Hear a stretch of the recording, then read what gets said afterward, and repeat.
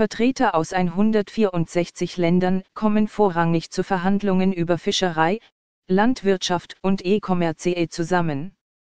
Doch auf dem Spiel steht nach Ansicht mancher Delegierter weit mehr, die Rolle und künftige Bedeutung der Organisation als Hüterin des freien Welthandels selbst.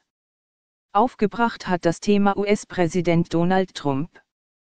Wir starten in Buenos Aires mit der Überzeugung, dass das System allgemein unterstützt wird, sagte die Konferenzpräsidentin Susanna Malcora vor Beginn. Dies sei bereits ein positives Zeichen, nach Befürchtungen in den vergangenen Monaten wegen des protektionistischen Kurses der US-Regierung. Doch die Stimmung ist nicht überall so positiv, von Fortschritten will ich gar nicht sprechen, sagt ein Teilnehmer. Wir wären schon zufrieden, wenn nichts zurückgedreht wird.